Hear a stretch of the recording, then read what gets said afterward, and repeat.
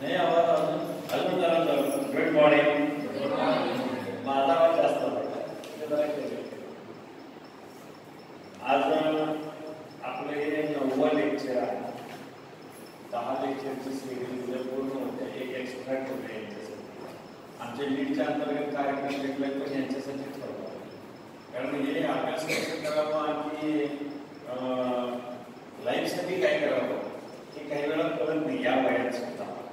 त्यासाठी ते एक लेक्चर एक्स्ट्रा वाढवलं लाईफ स्किल डेव्हलपमेंटसाठी एक लेक्चर ठेवलं की जेणेकरून स्वतःला माणसाला काय करायला पाहिजे हे लक्षात द्यावे आजचं एक नवं लेक्चर आहे हे कालचं होतं. ते आज आपल्याला आहे. काल ॲडजस्टमेंट करायला लागेल. त्यांचा आज कार्यक्रम आहे. नैना थोरात मॅडम तुमच्याकडे बायोडाटा आलेला कॉम्प्युटर डिपार्टमेंटच्या त्या चांगल्या म्हणजे त्यांचं नाव प्रथम पुढा आणि गेल्या वेळी अश्विनी मॅडमना दिलं होतं. दोन वर्षे त्यांनी घेतलं याविषयी नवीन ऑप्शन पाहिजे. पहिल्यांदाच मॅडम तुमच्यासमोर आलेले आहेत. भरपूर तयारी झाली. काय पाहिजे कॉम्प्युटरची लोक नेट सेट जास्त असतेनं बघत नाही कारण त्यांच्याकडे कसं कोर्स आला की लगेच जॉब तयार असतो. इंडस्ट्रीला वगैरे असतं मायक्रोबायोलॉजी आणि कॉम्प्युटर सायन्स लोक नाही तर या कमर्शियल आणि प्रोफेशनलमध्ये जास्त त्यांचा ओढ असतो त्यांच्याकडे आहे त्यांनी येऊ पण नाही इकडे कारण त्यांची तिला खूप मागणी आहे आणि सगळे प्लेसमेंट त्यांची होतात ते विद्यार्थी पण आपल्या इथे जास्त घेत नाही तरी पण मी सांगितले की कोणाच्याकडे क्वालिफिकेशन तयार राहत नाही त्यात शिकवायला पण आहे कॉम्प्युटर शिकवायला सुद्धा माणूसच लागतो ना त्यांच्याकडे क्वालिफिकेशन बेसिक नाही आहे आवश्यकता नाही तरी पण हे लोक यासाठी आपल्याला टाईम देतात योगदान देतात. त्या संदर्भात संदर्भातला जो आहे. माहिती तंत्रज्ञान आणि संप्रेषण माहिती संप्रेषण आणि तंत्रज्ञान असं मराठी त्याचं नाव की या विषयाचे या तज्ञ व्यक्तीच व्यक्ती घेऊ शकतात.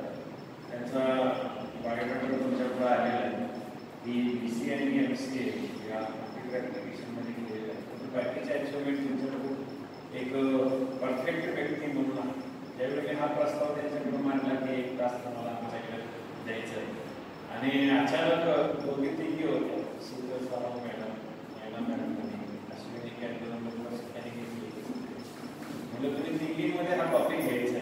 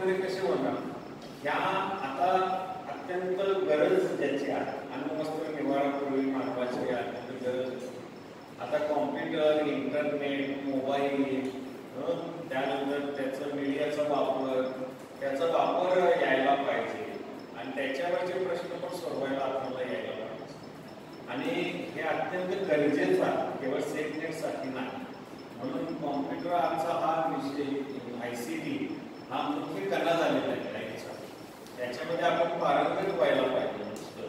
म्हणजे एखाद्या परीक्षा क्रॅक करण्यासाठी त्याचा परीक्षा म्हणून परीक्षार्थी म्हणून अभ्यास प्रकार करतो.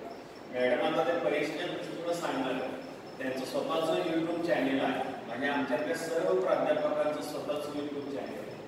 ज्या विषयामध्ये जाऊन तुम्हाला अभ्यास करायचा त्या विषयाचा अभ्यास करण्यासाठी सगळ्यांचे युट्यूब चॅनेल तुम्हाला आपल्या कॉलेजच्या वेबसाईटवरती नॉलेज बँक म्हणून आहे त्याच्यावरती आहे. तुमच्या पण डिपार्टमेंटचे डिपार्टमेंट पाहिजे पण मॅडमांचं जे आहे हे तुम्हाला कॉम्प्युटरचं बेसिक नॉलेज म्हणून जे लागेल त्याचे सर्व व्हिडिओ मॅडमच्या वेबसाईट आपल्या युट्यूब चॅनलला त्यात तुम्हाला चॅनल देतील. किंवा आजच त्या ग्रुपला जॉईन झाले त्यांना माहिती म्हणतो तर त्यांचा एक व्हिडिओ आज तयार करून तुम्हाला देतील. आणि एखादा व्हिडिओ टाकून त्याला सबस्क्राईब करून त्यांनी त्याला घरी आमच्या इकडे सबस्क्रायबरची संख्या कदाचित कमी असेल व्ह्यूवर कमी असेल पण तो गरजमंद असेल आणि तो त्याचं इम्प्लिमेंट करणार आहे. आणि यावर्षी मी कॉल केलेला आहे की काही करून आपल्याला आमच्या आता लेक्चरमध्ये मी सांगितलं की गेल्या तीन वर्षामध्ये आमचे एकाहत्तर विद्यार्थी सिलेक्ट ग्रेड पास झालेले आहेत आषाढी सिलेक्ट यावर्षी त्यांना स्वतः करायचं आहे त्याच्यामध्ये या पुढचा उपयोग होईल अशी अपेक्षा बाळगतो. तुमचं मनापासून अनेक वेळ स्वागत करतो. आणि तुमच्यासाठी रेस्पेक्ट करतो थँक्यू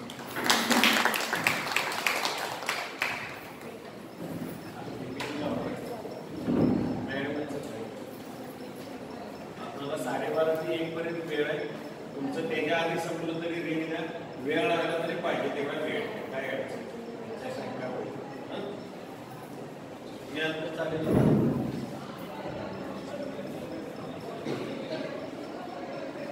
झालं की रिंग द्या मी adjust करतो.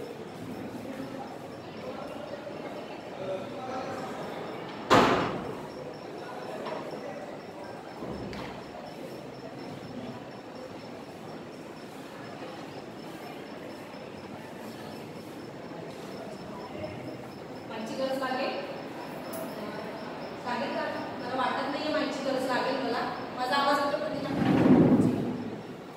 good morning all of you आज कशासाठी एकत्र आलो नेटसेट फर्स्ट पेपर सिलेबसमधला एट युनिट की जो टेन मार्कला कॅरी करतो. बेसिक ॲव्हरेज फाईव्ह क्वेश्चन्स त्याच्यावरती विचारले जातात. तर टॉपिक कशावरती बेस्ड आहे? I C T information communication and technology कशाला म्हटलं गेलं इन्फॉर्मेशन कम्युनिकेशन अँड टेक्नॉलॉजी की जिथे आता नाव right now recently each and every one having a smartphone प्रत्येकापर्यंत technology घराघरापर्यंत एका सिंगल टचवरती अवेलेबल आहे पण त्या टेक्नॉलॉजीचा यूज विद्यार्थ्यांना कसा करायचा आहे किंवा त्या टेक्नॉलॉजीचा यूज करून एज्युकेशन सेक्टरमध्ये काय बदल झाला किंवा त्या टेक्नॉलॉजीमुळे ग्लोबलायझेशन कशा प्रकारे झालं आहे हे आपल्याला तिथे बघायला मिळतं अं, आपले आत्ताच्या पंतप्रधानांनी डिजिटल इंडियाच्या अंडर बऱ्याच नवीन स्कीम्स आणल्या त्याचा पण थोडासा उल्लेख कशा होतो आय सी टीमध्ये होतो पण टेक्नॉलॉजी टेक्नॉलॉजी म्हणजे काय तर कलेक्शन कशाचं बघायला मिळत आहे जिथे की हार्डवेअर्स असतात सॉफ्टवेअर्स असतात ॲप्लिकेशन्स आहेत त्याचबरोबर इंटरफेसेस आहेत नंबर ऑफ कॉम्पोनंट्स आहेत की ज्याच्या मदतीने एक्झिस्टिंग असणारा डेटा की ज्याला काय म्हटलं इन्फो इन्फो कशी असेल मिनिंगफुल असेल की जी वेगवेगळ्या डेस्टिनेशनला वेगवेगळ्या लोकेशनला एक्झिस्ट होती.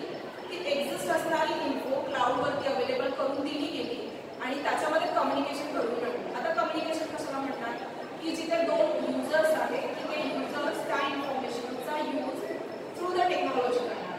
ठीक आहे? त्याच्यासाठी दोन टेंट्स लागणार आहेत. दोन टेंट्स असतील तर दोन युजर्सही लागतील. कारण जर दोन मशीन्स असतील तर त्या दोन मशीन्सचे दोन respected users as per the expect they are exist on that for using a particular technology I C टीचा मेन कन्सेप्ट फोर पिलरवरती बेस होते फोर पिलर तुमचा सांगू शकतो त्याचा फर्स्ट कन्सेप्ट आहे ॲग्रिगेशन टर्म्स सेकंड आहे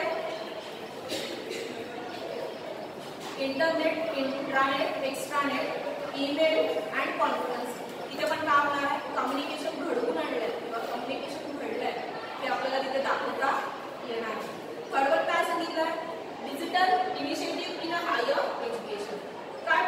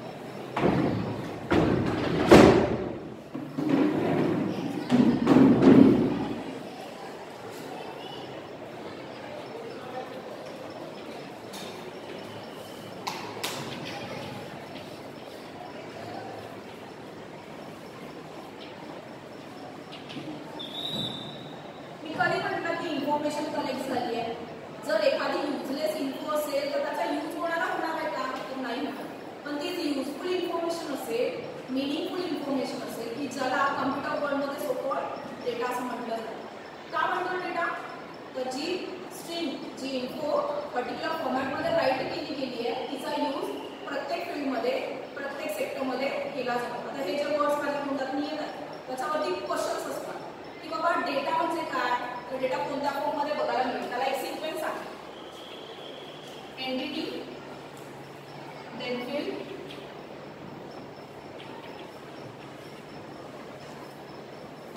data database and database system आणि या सगळ्याला एकत्रितपणे काय म्हणणार?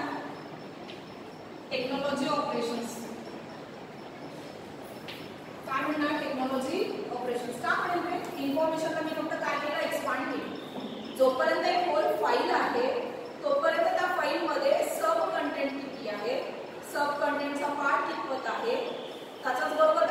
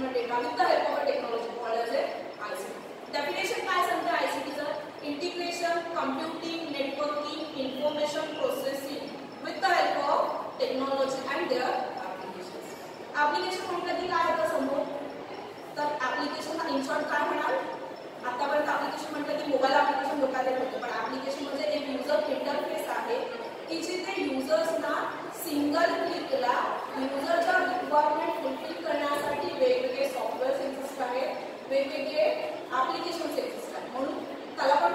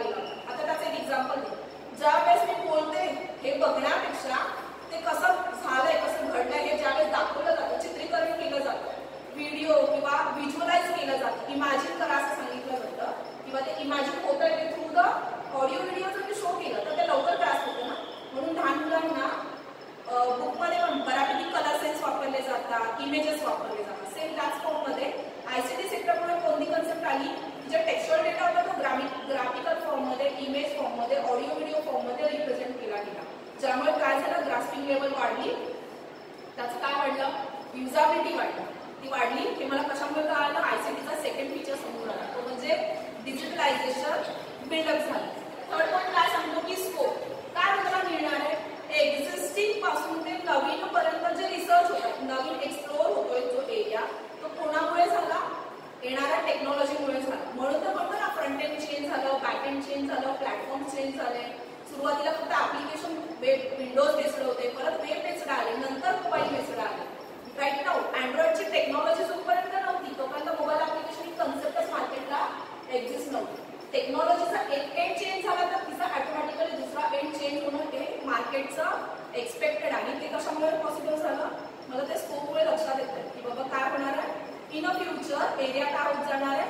वास्ट होत जाणार नेक्स्ट वन काय सांगितलं? इन्फ्लुएन्स त्याचा इम्पॅक्ट कुठेपर्यंत राहणार आहे तर लॉंग टर्म पर्यंत राहणार आहे. मग हा इम्पॅक्ट कुठे बघायला मिळाला? तर नॉलेज लेवल बिल्ड झाली आहे.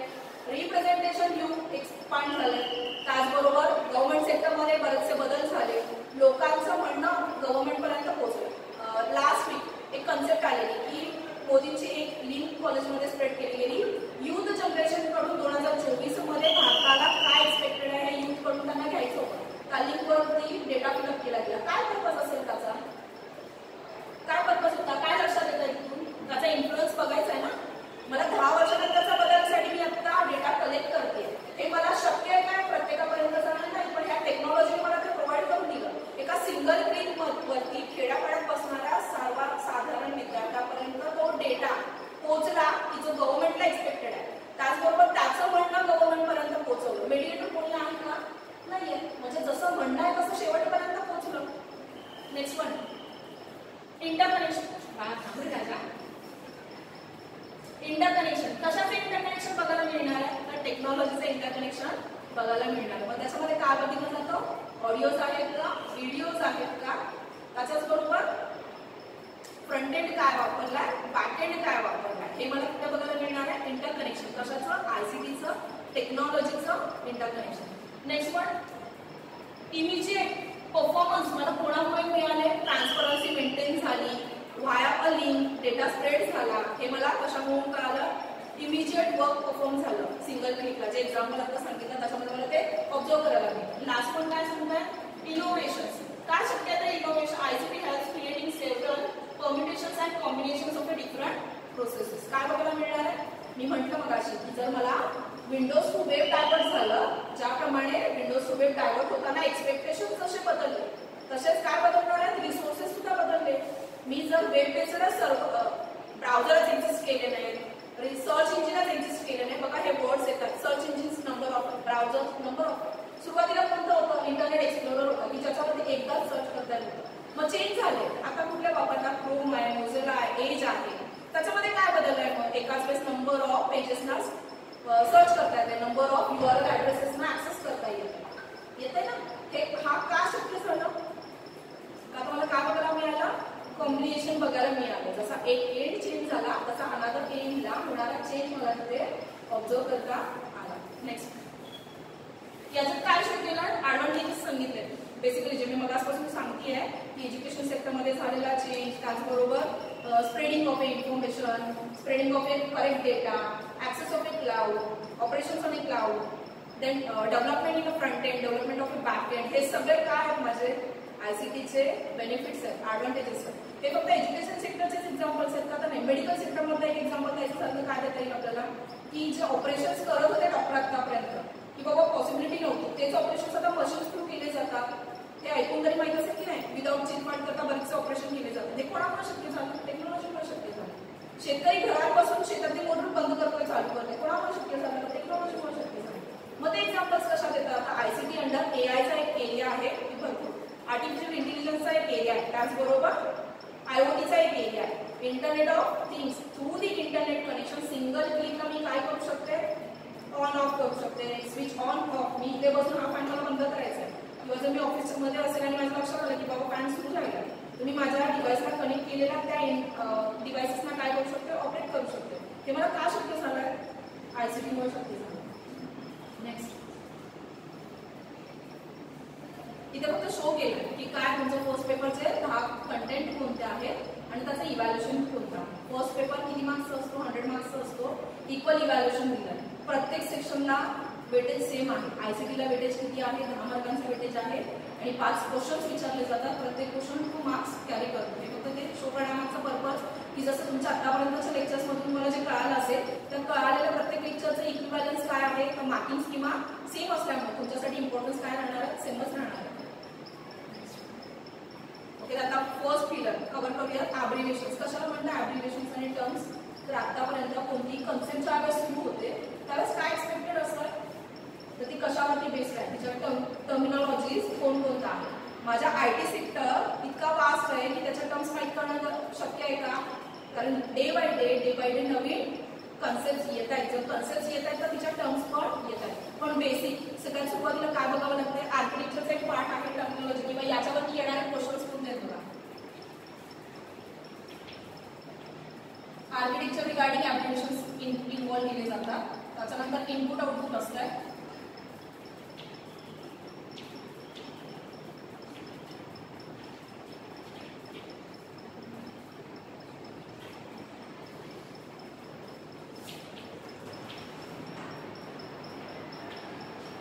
नेटवर्क एक आहे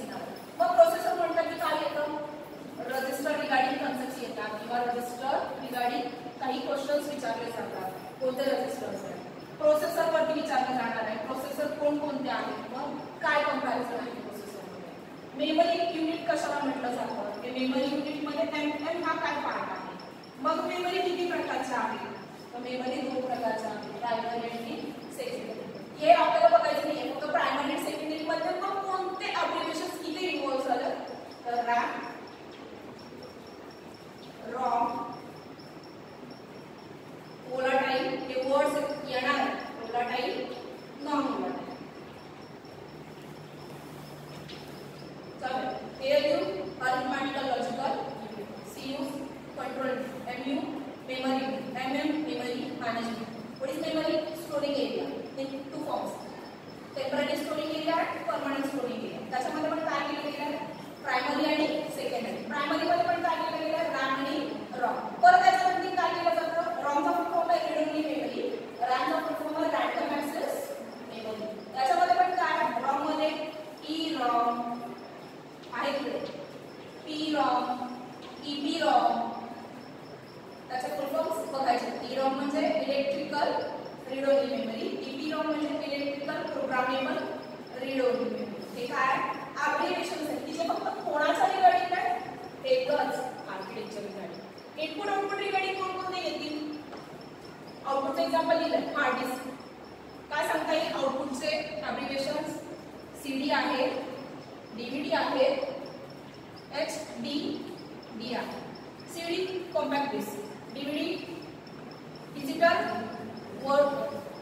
digital versatile disc नंतर H D D hard drive disk ठीक आहे? हे काही एक्झाम्पल्स फक्त मी तिथे इन्व्हॉल्व केले हवं असेल तर नोट्समध्ये तिथे क्लिक करा त्याच्यामध्ये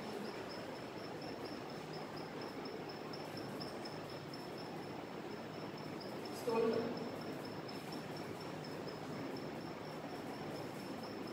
बस स्टोर करा. हे बघा. हे काय केलं या एरियामध्ये ऍब्रिवेशन जो पहिला पिलर आहे आयसीटीचा त्याच्याशी रिगार्डिंग काही बेसिक्स ऍब्रिवेशन तिथे इन्व्हॉल्व केले त्या पीडीएफमध्ये की ज्याचे क्वेश्चन तुम्हाला विचारले जाऊ शकते हवं असेल तर हा डेटा पास ऑन करतोय हा फक्त डोळ्याकडून जरी घातला तर याच्यावरती बेस असणारे दोन क्वेश्चनचे मार्क्स कंपल्सरी तुमचे जास्त त्रास घ्यावा लागणार आहे का नाही फक्त वन बाय वन बेसिक जे विचारले जाऊ शकतील ते इथे मेन्शन केलंय रॉंग रॅम वरती कन्सिस्टंटली क्वेश्चन्स येत आहेत ओलडेट नॉन ओलडेट वरती कन्सिस्टंटली क्वेश्चन्स येत आहेत दरवर्षी दोन हजार सहा पासूनचा जो डेटा मी आता स्टडी केला त्याच्यामध्ये कंपल्सरी याच्यावरती क्वेश्चन्स आलेले बघायला मिळालेले आहेत नेक्स्ट एरिया आहे इनपुट आउटपुट दिवस हे कशावरती येतात या एरिया या ऍप्लिकेशन्स वरती विचारलं जाईल नंतर डेटा कन्सेप्ट आता डेटा कशाला म्हणतात मी मगाशी म्हटलं तर युनिट फॉर्ममध्ये मिनिंगफुल इन्फो जिथे म्हटली जाते त्याला काय म्हटलं तर डेटा म्हणतात मग डेटाचे कोणते क्वेश्चन्स किंवा कोणते कन्वर्जन्स आहेत तर काय म्हटलं जातं ते आता बिट म्हणजे काय कम्प्युटरमध्ये सगळं काम कशावरती चालू आहे. म्हणतो बिट्सवरती चालतं झिरो अँड वन ठीक आहे. वन बाईट म्हटलं जात आहे हा याचा पार्ट आहे. Data कन्सेप्टचा one byte is equal to A B then we is equal to M B TB आता याच्यावरती ना ऍप्लिकेशन्स पण आले आले का ऍप्लिकेशन्स बघा बरं क्वेश्चन जर विचारला one byte is equal to how many bits eight bits केबीचा full form काय किलोबाईट जीबीचा गिगाबाईट एमबीचा मेगाबाईट टीबीचा टेराबाईट आता एक कन्वर्जन्स लक्षात ठेवण्यासाठी जास्त अवघड का नाही फक्त का लक्षात ठेवायचं बीट बाईट आणि ते त्याच्यानंतर दहाशे चोवीस बाईट म्हणजे एक केबी दहाशे चोवीस केबी म्हणजे एक जीबी येत आहे एमबी हा सिक्वेन्स आहे KB is equal to one GB one MB is equal to दहाशे चोवीस GB one TB is equal to दहाशे चोवीस एमबी हा फक्त सिक्वेन्स तुमचं लक्षात ठेवायचा आहे तुम्हाला की याच्यावरती ऍप्लिकेशन्समध्ये क्वेश्चन्स येते त्याचबरोबर कन्वर्जन्स आहेत. बाईट कन्वर्जन आता कन्वर्जनचा पॅटर्न कोणता आहे? बेस सांगितला जातो. ज्या वेळेस स्मार्ट डिव्हायसेस नव्हते. किंवा सुरुवात first generation computer second generation कॉम्प्युटरमध्ये जो डेटा होता बिट बाईट फॉर्ममध्ये त्याचा बेस काय होता? बायनरी होता. त्याच्यानंतर ऑक्टल आला त्याच्यानंतर डेसिमल आला त्याच्यानंतर हेचा डेसिमल आला. हे काय आहे? कीबोर्ड वरती ज्यावेळेस मी ए हा प्रेस करते त्याच डेसिमलमध्ये त्याचं रिप्रेझेंटेशन वेगळं आहे हेक्सामध्ये त्याचं रिप्रेझेंटेशन वेगळं आहे. ऑक्टेलमध्ये त्याचं रिप्रेझेंटेशन वेगळं आहे. ए हा कीवर्ड सुद्धा ज्यावेळेस मी रिप्रेझेंट करणार आहे ते कशावरती मॅटर करतं? मग हे काय आहे? आस्की सेकंड या लायब्ररीमध्ये sixty bit based decimal bit based libraries exist आहेत मग कीवर्ड कोणते वापरले जातात? तर मिनिमम ॲटलिस्ट एकशे एक एकशे दोन हे आन्सर आहे. विचारलं गेलं कीबोर्डला किती कमीत कमी की असायला हवे?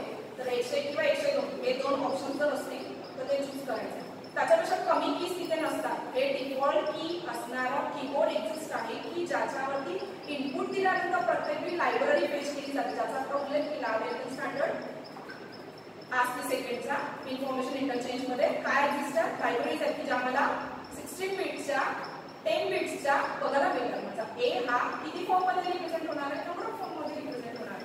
हे मला कशात बघायला या कन्सेप्टमध्ये बघायला मिळतं. आता नेटवर्कमध्ये काय बघायला मिळणार? आहे आणखी ऍप्लिकेशन नेटवर्कमध्ये कोणतं आहे? RAM. Sorry wide area network local area network metropolitan area network या काय कन्सेप्ट आहे? जर मला कम्युनिकेशन घडलंय असं दाखवायचं असेल तर एक हा पार्ट महत्त्वाचा आहे.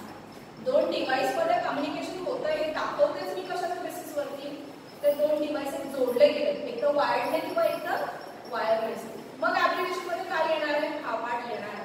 किंवा क्वेश्चन्स याच्यावरती विचारले जाणार मग हे काय आहे? तर वायर्ड कनेक्शनने लिमिटेड एरियामध्ये एखादा डेटा एखादा डिव्हाइस जोडला गेलाय डेटा शेअर केला गेलाय कम्युनिकेशन एक्झिस्ट झालंय. सो मी काय इम्प्लिमेंट झालंय म्हणेन लॅन इम्प्लिमेंट झालं लॅनमध्ये कम्युनिकेशन डन झालं.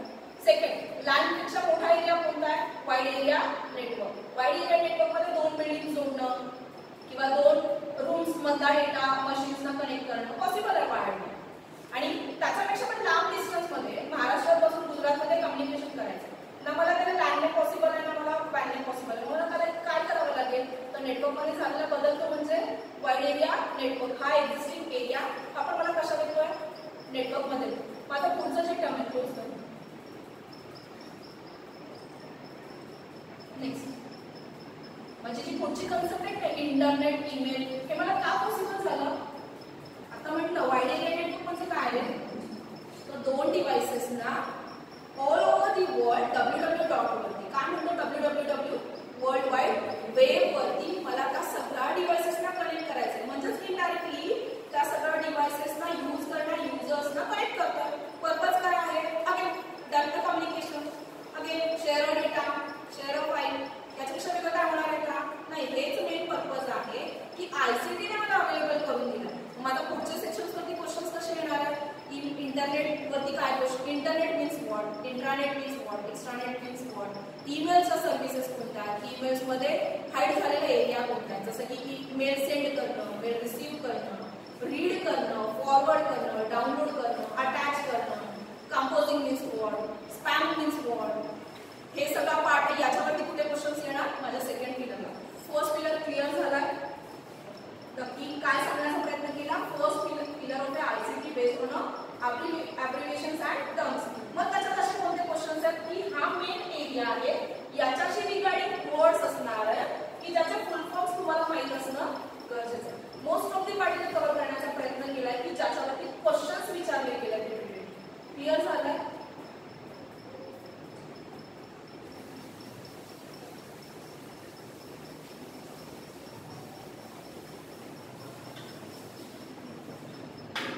तर टर्म कोणतं सांगितलंय सेकंड पिरियडचा इंटरनेट इंट्रानेट अँड एक्स्ट्रानेट कशाला म्हणतात इंट्रानेट लॅनचं एक्झाम्पल देते मला याच वर्गामध्ये सगळ्यांना एकमेकांशी जोडायचं मी लॅनमध्ये तुमचे मोबाईल डिव्हाइसेस फक्त जोडेल त्या मोबाईल डिव्हाइसेस ना या बाहेर या वर्गाच्या बाहेरच्या डिव्हाइस बरोबर कनेक्ट करण्याची अथॉरिटी नाही हे एक्झाम्पल कशाचं येईल इंट्रानेटचं एखादी ऑर्गनायझेशन त्यांच्यामधलाच डेटा सेफ आणि सिक्युअर फॉर्ममध्ये जर शेअर करत असेल कम्युनिकेट होतं असं जर दाखवत असेल तर काय बिल्ड झालं सांगता येईल? इंटरनेट बिल्ड झालं असं सांगता येईल. पर्पज काय होता?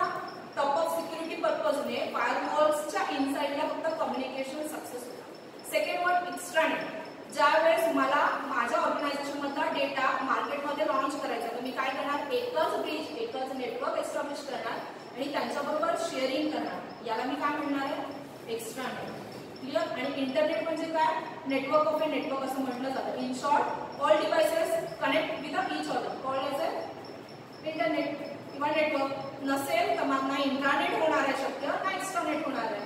मग इंटरनेटचं एक्झाम्पल लँड थ्रू शो करता येत आहे एक्स्ट्रा नेटचं एक्झाम्पल मेट्रोपॉलिटन एरिया थ्रू किंवा वाईड एरिया थ्रू शेअर करता येईल जसं की कॉलेजमध्ये जर मी बसत असेल आणि बी बिल्डिंग मधून मला ए बिल्डिंग मधल्या ऑफिसमध्ये जर मला शेअर करायचं असेल तर त्या दोन डिवाईस ना ज्या नेटवर्कमध्ये जोडलं जोडले तर लॅन म्हणेन का? नाही लॅनचं मिनिंगच काय?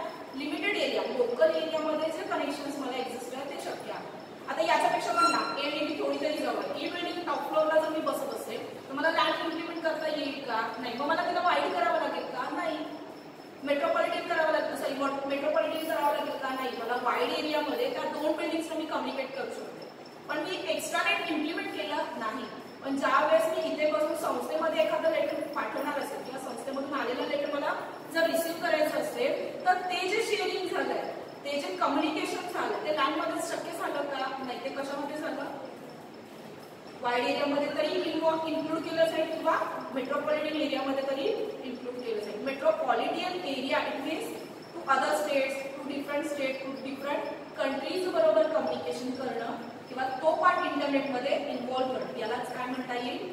एक्स्ट्रा नेट याच्यामध्ये ॲप्लिकेशन कोणतं आहे?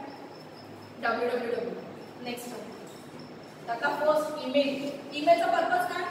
E mail again me stand on electronic E stand on electronic mail stands on message आता याच्यामध्ये काय